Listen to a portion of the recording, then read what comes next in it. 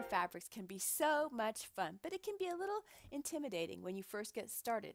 So there are two main categories of sewing fabrics, wovens and knits.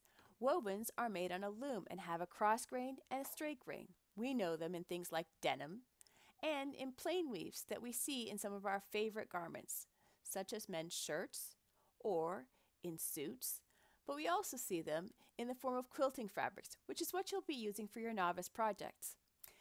Knits are made with loops, interlocking loops of yarn, and we often see them in the form of crochet knits, or when you're shopping for fabrics, you'll see a lot of fleece.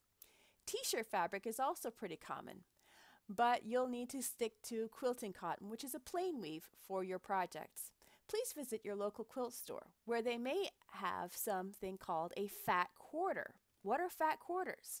Well, they are basically pieces of fabric that have been cut 18 inches by 21 or 22 inches. Choosing your fabrics when you're starting to sew is pretty easy.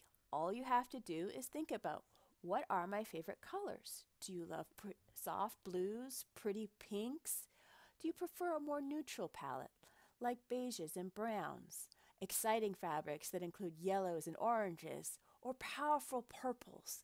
It's all up to you. For my set, I chose aquas, as you can see here.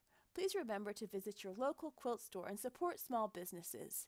If you absolutely cannot, then we have a subscription service at suturafabrics.com and you're welcome to join it. Thank you so much and I hope this has been helpful. If you enjoyed it, please click like or and subscribe.